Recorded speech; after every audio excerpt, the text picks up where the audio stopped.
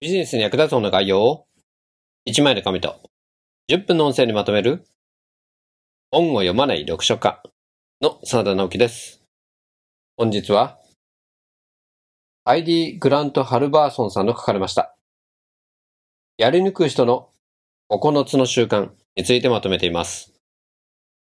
この本を読んだ目的ですけれども成功者と呼ばれる人たちに共通する思考や行動パターンを知りたいと思って読んでました。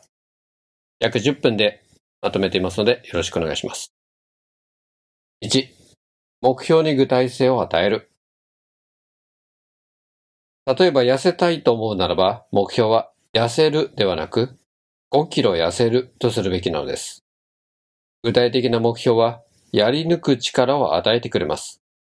できるだけ食べないようにするあるいはもっと睡眠時間を取るようにするといった目標は曖昧すぎます。睡眠時間を長くしたいなら目標はこうするべきです。平日の夜は午後10時までにベッドで横になる。これなら自分が何をすべきか具体的になります。実行できなかった日にもそれがはっきりとわかります。2目標達成の行動計画を作る。目標達成のためにやるべき行動を着実に実行するためには、いつ何をやるかをあらかじめ予定に入れておくべきです。例えば、月曜日、水曜日、金曜日には出勤前に必ず30分運動するというようにです。目標達成の切り札、if then プランニング。if then とは、もしこうなったらこうするという意味ですが、どんな目標を達成する場合でも役立つ強力な手法です。事前にいつ何をやるかをはっきりと決めておく。これで実行できる確率は2倍から3倍も高くなります。例えば16時になったら何があっても今日かけるべき電話は全てかけるといったように決めるのです。if もし x だったら2 then y をする。もし午前中に報告書を書き終えられなかったら、午前午後最後の仕事はその報告書を書き上げることにする。もし同僚とのおしゃべりで仕事がはかどらないなら、おしゃべりタイムは5分と決めて5分後には仕事に集中する。もし6時になったら、会社のジムで汗を流す。意識せず毎日着実に行動する。3. 目標までの距離を意識する。目標達成に向けて、ただがむしゃらに努力するのではなく、日々、どれだけ進歩したのかを確認する必要があります。フィードバックで目標との距離を確認する。どれだけ自分がうまくやれているのかわからなければ、行動を見直すこともできませんし、フィードバックがなければやる気を持続することも困難です。目標に向かって行動するときは、できるだけ多くのフィードバックを得ることが大切です。フィードバックによって向上しているのか、あるいはしていないのかがはっきりするからです。長期的な目標ならフィードバックの頻度もゆったりとした設定で良いでしょう。短期的な目標の場合は、頻繁にフィードバックを受けられるように設定し、自分が目標に正しく向かっているかを確かめる必要があるでしょう。最近の研究で分かっていることは、初心者はあまり頻繁にチェックすべきではないということです。4. 現実的楽観主義者になる。目標に向かって努力するとき、ポジティブに考えることは大切です。私には目標を達成する力がある。私は成功する能力を持っている。そう信じることはモチベーションを高める大きな助けとなります。望むことは簡単にできる。欲しいものは簡単に手に入れる。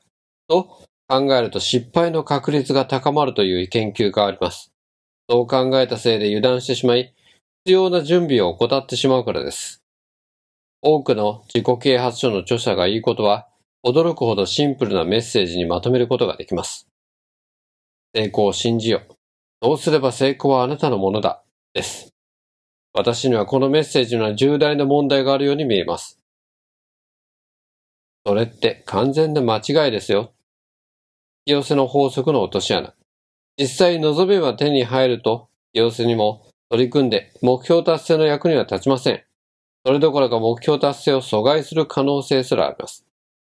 引き寄せの法則が役に立つ場合が一つだけあります。それは、目標を設定したくない時です。オーバーに言ってるのでありません。引き寄せの法則は失敗の鉄則と断言してもいいくらいです。非現実的な楽観主義では目標を達成できません。5.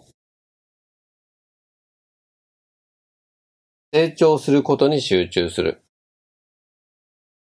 自分には成功する力があると信じることと同じくらい大切なことがあります。それは、今できなくてもできるようになると信じることです。能力は伸ばすことができます。多くの人が知能、性格、身体能力は生まれつき決まっていて、自分の努力ではどうしようもないと考えています。つまり、頑張っても頭は良くならないと信じているのです。どんな分野の能力でも一般に思われているよりもずっと柔軟性があるものです。つまり、能力は努力次第で伸ばせるのです。目標を設定するときには、今何ができるかではなく、これから何ができるようになりたいかを考えるようにしてください。失敗してもいい。失敗なんて何でもないと考えると、実際に失敗する確率は大幅に低くなるという研究結果があります。6. やり抜く力を持つ。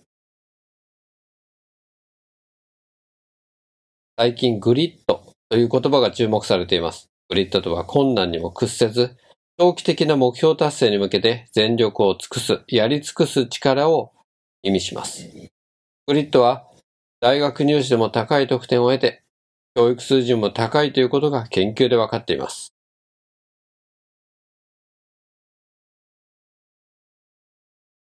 やり抜く力を支える拡張的知能感。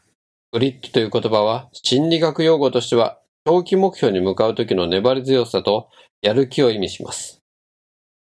固定的知能感を持つ人はうまくいかないのは自分の能力がないせいだと考えます。そして私には向いていないと考えるのです。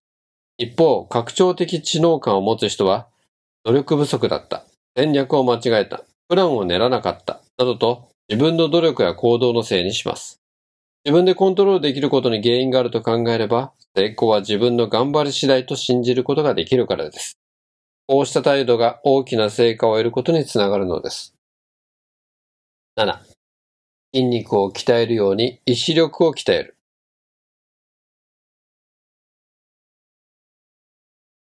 意志力は筋力と似ています。筋力は使わなければ衰えますが、意志力も使わなければだんだんと弱くなってきます。逆に、意志力を定期的に正しい方法で使えば少しずつ強くできることができます。気の進まないことをして意志力を鍛える。何でもいいのです。大きな挑戦である必要はありません。とにかく取り組む価値があると思うことを続けるのです。すべての挑戦の共通点。それは誘惑に打ち勝つという必要があるということです。禁煙しようと思ったら、必然の誘惑に打ち勝たなければなりません。職場や家庭でストレスにさらされたり、多くの意思決定が必要だったり、自分の印象を良くしようと思うとすると、意志力は少しずつすり減っていきます。意志力が強い人を思い込めると、それだけで意志力をパワーアップさせたり、回復を早めることができるということが実験で証明されています。8. 自分を追い込まない。どれだけ意志力を鍛えてもそれには限界があります。限りある意志力を有効に使いましょう。例えば、人間とダイエットという二つの困難な目標に同時に取り組むのは避けるべきです。どんな目標であっても、できるだけ簡単な方法を見つけるように努めてください。わざわざ難しい方法を選んで、自分の能力を試す必要はありません。つまり禁煙に続ける自信がある人ほど誘惑に避けようとせず、自分の意志力を頼ろうとしたのです。数ヶ月後の追跡調査の結果は、彼らの自信と意志力を証明するものではありませんでした。タバコの誘惑のある状況を避けると答えた。より自信のなかった被験者の方が禁煙を続けられたのです。意志力を試してはいけません。9.